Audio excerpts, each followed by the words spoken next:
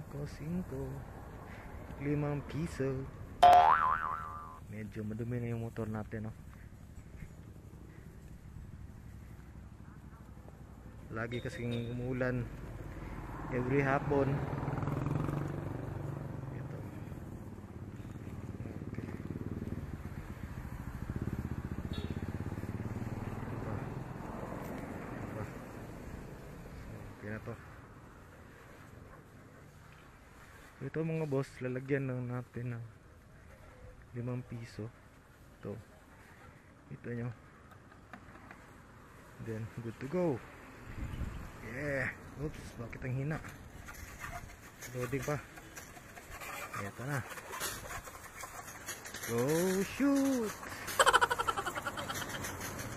Okay, hi to Sir Roy Marlo Rondina.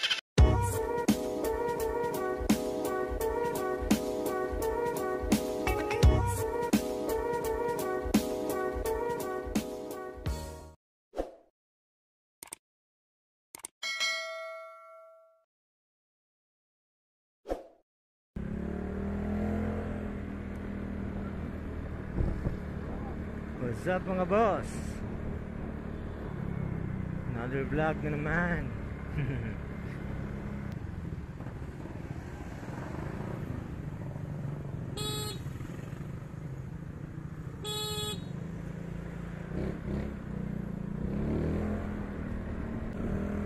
So ngayon mga boss, magwa-washing tayo So Kali ipapakita ko sa inyo kung ano yung tamang pag-washing. So we will be using yung ano ah, hulug-hulug 5 5 piso.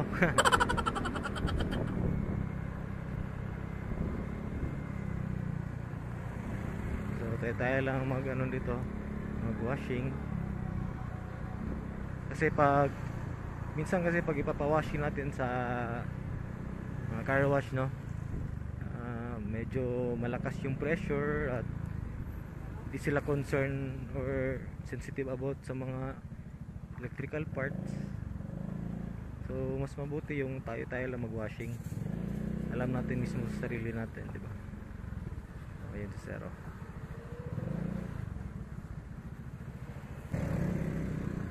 tayo na mga boss. Center stand ko lang dito natin ipa ano.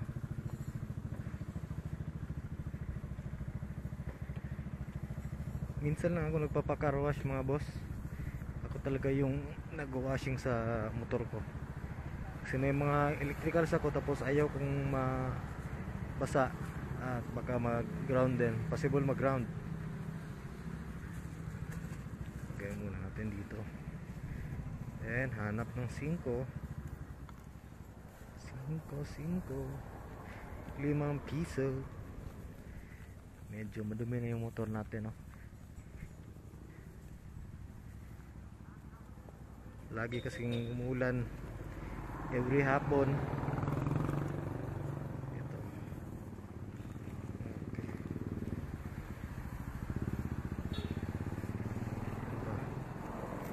ito. Okay na to ito mga boss lalagyan lang natin ng limang piso. Ito. Ito nyo. Then good to go yeah. Oops bakit ang hina? Loading pa. Eto na. Go shoot!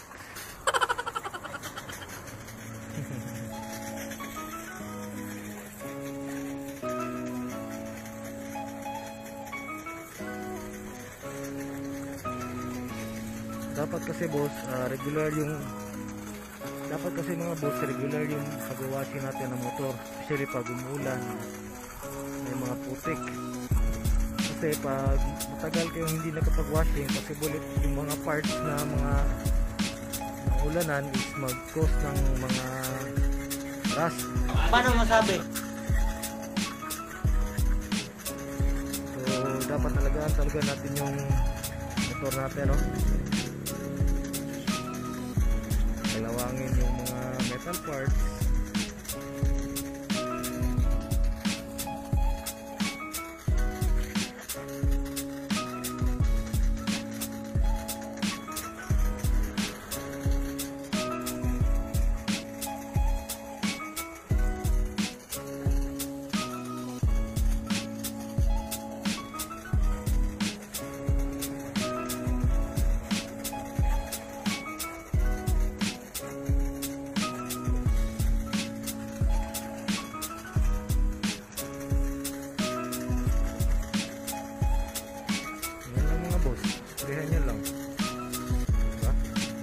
Okay, kayo.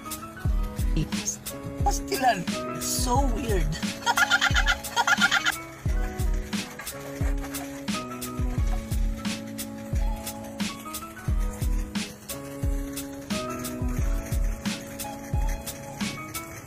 Dito sa rear wheel, no? Ang dami dito. So, check na din itong sa ilalim. Kasi dito talaga yung pumapasok yung mga putik. Putik ina nyo. Putik talaga. Okay, dito. Okay mga boss, basahin ko kayo ha.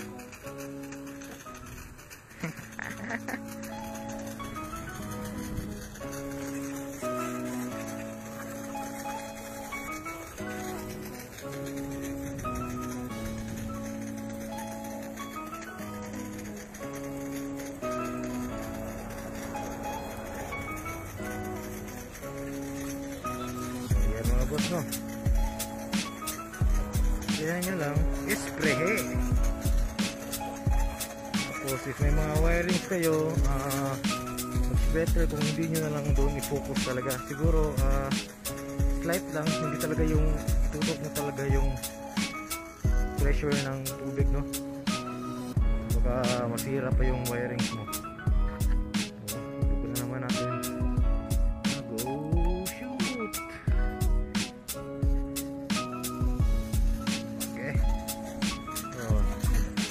Kita nyo may mga wirings ako. So, dito na, hindi ko pinafocus dyan yung pressure. na hindi mag-ground. But upon installing naman mga, ng mga lights dyan, uh, I'll make sure naman na to secure also. Uh, marami yung binalot ko na ano, electrical tape. Advance ako mag-isip.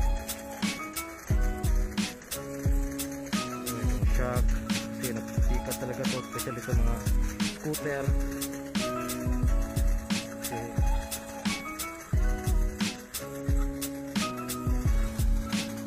ang gilid.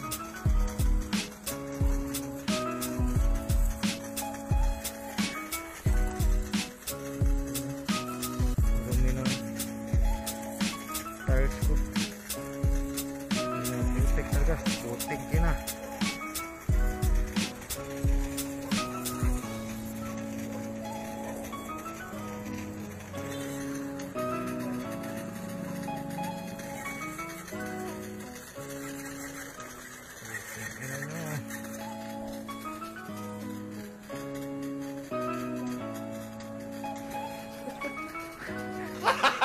Gago!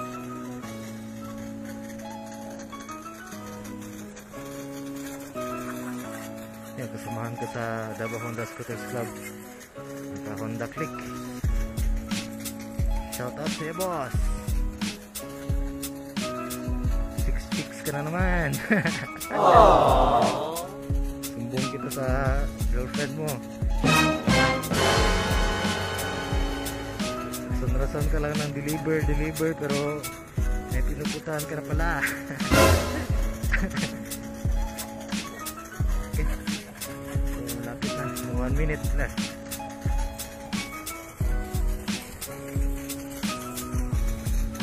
So, yun mga boss, no? After dito, uh, nasa nyo na.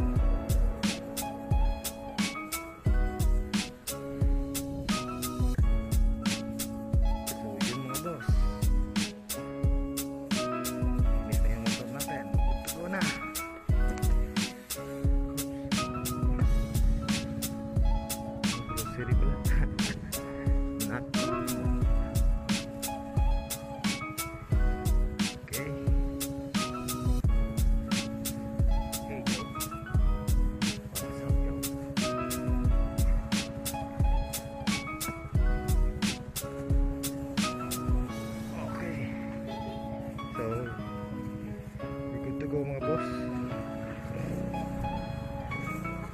Drive natin para para yung mga droplets ng tubig na dumikit dito sa motor eh uh, ano ng hangin. Mapalid. Ano yung mapalid sa galog your, your road your road dyan lang mga boss. Bisaya kasi. Bisaya rocks yeah. Proud Bisaya. Tagalog pala ka Butiti alam mo Paano masabi? So, yun mga boss, uh, thanks again for watching my vlog. Don't forget to like, subscribe, and share my videos. Thank you mga boss and ride safe. This is Roy from Marl Venture. Ciao.